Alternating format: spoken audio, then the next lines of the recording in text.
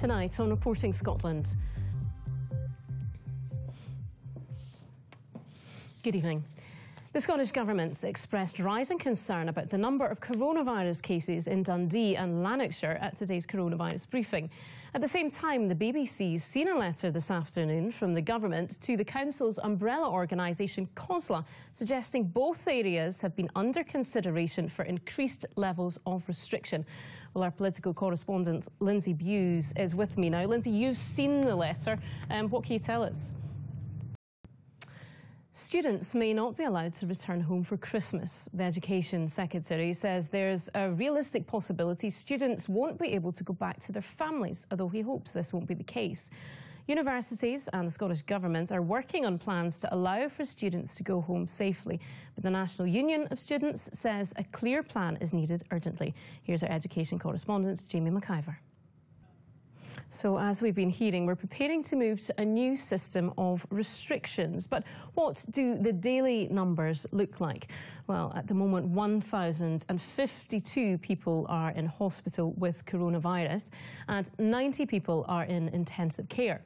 Today, the First Minister again suggested there's evidence the rise in cases is slowing.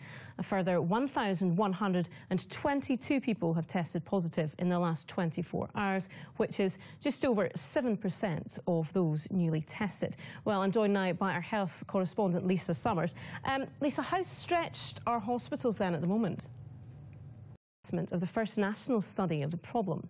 The abuse is happening in islands, rural communities and urban areas, with cases identified in 27 of Scotland's 32 local authorities.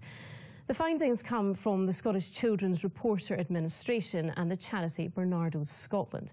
They say child exploitation can be a particularly hidden form of sexual abuse and crime, where the victim may even believe it's consensual or not realise they're being exploited. Girls are more likely to be recognised as victims, with boys often overlooked.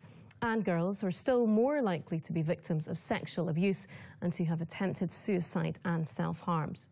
Well, Barnardo's has made 15 recommendations for action. And before we came on air, I spoke to Daljit Dagon from the charity. So, I mean, Barnardo's has come up with 15 recommendations for action. Can you just outline a few of, of the sort of the, the, top recommendations you have to change this? Daljit Dagon from Bernardo Scotland. You're watching Reporting Scotland, a reminder of tonight's top story. Now, although much of the focus right now is on how to salvage Christmas retail from the impact of COVID restrictions, businesses who count Halloween as their busiest period are calling for more support for their sector. Costume shops, ghost tours and games rooms are facing a nightmare before Christmas, as our Consumer Affairs correspondent Nick Sheridan reports. A video posted on social media by a soft play owner calling for more support and guidance for his industry has now been viewed over a million times. Craig Meikle says he recorded the message because he doesn't understand why, understand why businesses like trampoline parks can reopen while he can't, and now fears they will survive a matter of weeks without more help. He's been speaking to our correspondent, Laura Goodwin football and the former Rangers and Scotland manager Alex McLeish says the Ibrox side are now favourites to lift the league title and dash Celtic's hopes of 10 in a row. This after another weekend in which the reigning champions dropped points. But as the pressure grows on manager Neil Lennon, he's been backed by none other than Sir Kenny Dalglish, who believes Lennon will prove his critics wrong. Kheredine Idessane reports. Well, now Christopher's here with the weather and a beautiful autumnal scene behind us there. Yeah, not too bad. Is that what we can expect? Well, no, actually. Uh, What's Thanks, the point Laura. of that then? Children are being sexually exploited in all parts of Scotland. That's the grim assessment of the first national study of the problem. The abuse is happening in the islands, rural communities and urban areas, with cases identified in 27 of Scotland's 32 local authorities. The findings come from the Scottish Children's Reporter Administration and the charity Barnardo's Scotland.